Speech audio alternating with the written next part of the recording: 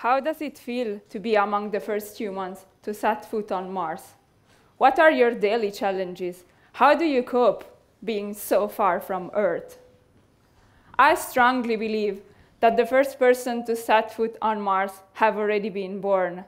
Maybe it's your nephew, maybe your little cousin, maybe even my one-year-old child, even though I'm not really sure how would I feel about that as a mother. Mars has been fascinating us all. So far, so harsh, so remote. But on the other hand, so familiar. We think we have been there. We have received thousands of images from all the rovers that have been there for a while, spirit, opportunity, curiosity. But what about human exploration? What about waking up on Mars, putting on your spacesuit, close your helmet, open the hatch of your outpost, and go working there? Well, there is still a little bit of a challenge in that. We are not capable at the moment to send humans to Mars. But you probably have all seen uh, Mr. Elon Musk sending a Tesla on a Martian orbit. So I'm very confident these smart people will find a solution pretty soon. So I don't want to focus on this problem. I want to assume that somebody, not us, one group of these millennials, have been able to get there, set up an outpost, and they're ready to work. What would they do? Well, according to Mr. Alan Shepard, one of the Apollo astronauts, they will look up in the sky, see this teeny, teeny, tiny blue dot far, far away, and shed a couple of tears. Well, we're human after all. But well, they've been trained, they've gone through every possible selection. They are our representative. They are the best of mankind there. So they will probably just in a couple of seconds wipe up those tears and set themselves to work. And this is what the Austrian Space Forum has been doing for approximately a decade. We are performing Mars analog mission, meaning we are searching for places on Earth that look as close as possible to Mars. And there, we perform missions in isolation. We send people out with a spacesuit to perform extravehicular activity. And this is our spacesuit, beautiful Aouda. She takes her name from a princess from the Jules Verne novel. But for being a princess, she's quite a tough one. Don't be fooled. She weighs 45 kilos. Takes two and a half hours to put her on. She has one of the most advanced systems for communication, life support systems for temperature control, a lot of sensors, and she's able to simulate on your body the effects of a pressurized suit, which is what we will need on Mars. And all those constraints you don't think about. The fact that you're wearing a helmet, so your vision is kind of blocked. The gloves, you, you have to wear multiple layers of gloves. So how do you do science? How you operate all these teeny tiny experiments with these huge hands that can do barely a thing? And this is uh, what we are considering while performing those missions. So, as said, she's a princess, a tough one. She's been tested through the most extreme environments. These are ice caves in the Dachstein Glacier in Austria. Why caves? because we know there are caves on Mars. And those caves, uh, besides being very interesting from the geological point of view, they might be a winning point. They're shielded from radiation. So as humans going on Mars, uh, we're probably going to aim for a cave to start our exploration. And of course, uh, Mars is the red desert. So we have to test her through sandstorms. This is a, uh, one of the examples. And what do we do during these missions? We do science. This rover was built in Hungary. Thanks to its particular wheels, it's able to move autonomously through harsh terrains. And with the instruments on, on top of it, it's able to select samples, geological samples from the ground, So the astronauts don't have to search for the best samples for the scientists. The rover is pointing to them. They just use these beautiful sticks, pick them up, put them in the pockets that they have, and send them back to the outpost. Other examples, human-machine interface. This is one of our analog astronauts driving one of the most expensive cars you can find off the market, not even on the market, the Eurobot, which was made from ESA. And uh, what else? We test scenarios, operational scenarios. So you have worked the whole day on Mars with your 45 kilo spacesuit, the exoskeleton that is simulating the pressure, exhausted, maybe you are on desert, maybe it's warm, maybe it's cold, maybe you're really, really tired. You can't take it anymore. You cannot move. You're, you're really, you cannot take it. You have to stop. Well, you're on Mars. The closest hospital is six months away. What can make your life better? This inflatable habitat is able to host the astronaut and his partner during the activity into a more comfortable environment so that they can remove the part of the suit that is hurting the most, put it to rest, and wait for the outpost to come for help. The hospital is still six months away. There is nothing we can do about that. But at least you are waiting in a more comfortable situation. But, uh, okay, not every day has to be wrong on Mars. There are also days where everything goes fine. You work your eight hours in your suit, but okay, you are fit, you're good, uh, you finished all your experiments, collected all the sample, you just go back to the outpost with like, yeah, I'm a winner, today I did my job properly.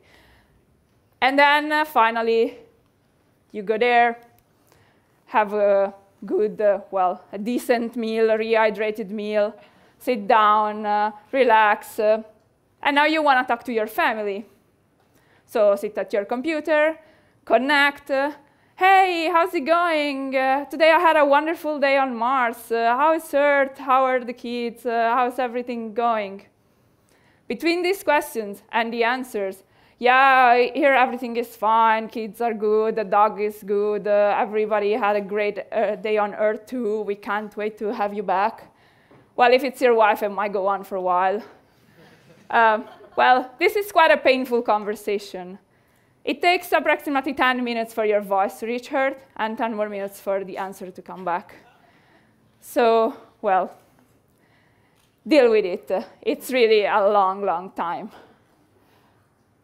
So, what are we doing now?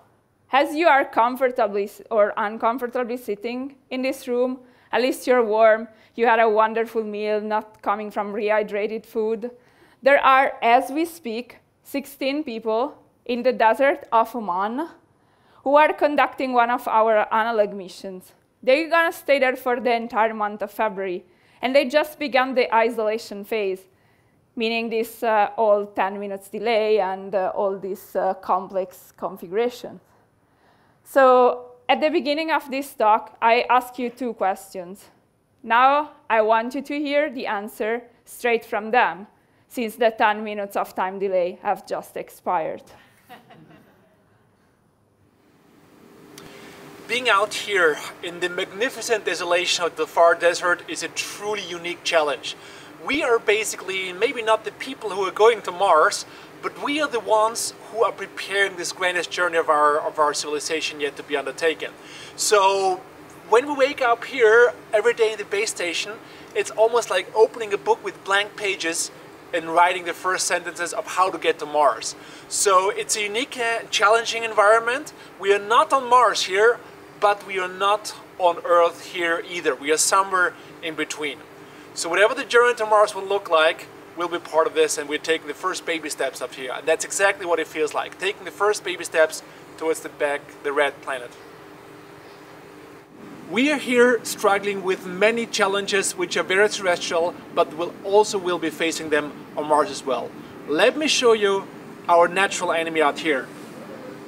and that's the dust. And there's a lot of out, out there here. So basically it's a challenge to the equipment, but it's also the scientific challenge of how to use the instrumentation, how to deploy it, at which sequence and so on, to have an effective exploration cascade on how to search for life on Mars. So it's a challenging thing. Uh, you feel the harshness of any expedition here, but it's a grand journey because no matter what the journey to Mars looks like, we are part of it. And no matter what technology we're going to use, what kind of science we're going to do. We always remember a place like this where those journeys started. And that's something that makes me proud. Okay, so now I spoiled you that there is a mission ongoing. I want to talk a bit about what we are doing in this mission. Not so much. I want you still to be willing to read in the newspaper. So some problems that we are having at the moment is carrying mass on Mars. Every gram cost is propellant, is tons of money.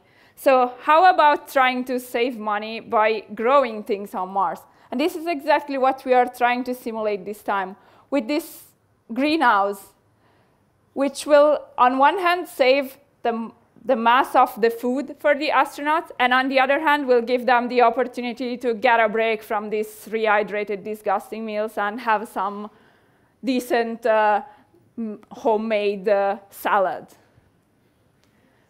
Another challenge is, what if I'm doing a scientific experiment?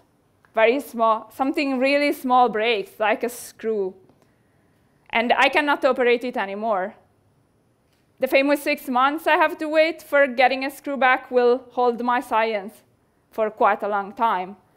So this time we sent to Mars a 3D printer so that by simply loading what we want to have on the printer from Earth, it can be made on Mars. And this is actually a lifesaver. You don't have to wait six months. You can go on with the science. You have happy scientists, happy astronauts. Everybody can work and it's a win-win. Okay, enough about Mars. For every Mars, there is a Earth. so, and actually, this is our Earth. Hundreds of volunteers from 25 nations that are devoting their spare time to support our missions. And uh, I'm very proud of them. This evening, I'm gonna go back to this room, the flight control room, and resume my duties as a flight director. What do we do? We plan activities.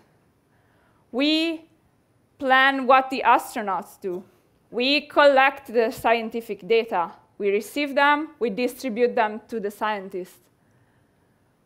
We are in communication with the astronauts. So the famous 10 minutes I call you, you call me, and takes forever. We overcome this. We use a chat system so that we can record the questions and provide the answers in due time. We're working in a different, it's not like the space station where I see the astronauts going right uh, and touching the blue cable. I want him to touch the red cable. I just make a call and say, no, not the blue, the red. This is more complex. We have to live in the future. We have to try to imagine what will be the next issue, what will be the next question, what will be the next problem. And this is what makes the Earth part interesting. This is what makes make us thinking we are seeing the future, we are preparing. So do you think we are crazy? Or to say it in a more politically correct way, do you think we are dreamers? visionaries. Well, look at those pictures. They've been taken only two weeks apart from each other on completely different planets. The left is one of these famous rovers on Mars. The right one is in a desert of Morocco. Every mission, we gain experience, we gain knowledge, we add more experiments, we add more complexity. We are getting every time one step closer to Mars. And as Thomas Stearns Eliot said, we shall not cease from exploration. And the end of our exploring will be to arrive where we started and know the place for the first time Mars, the new normal.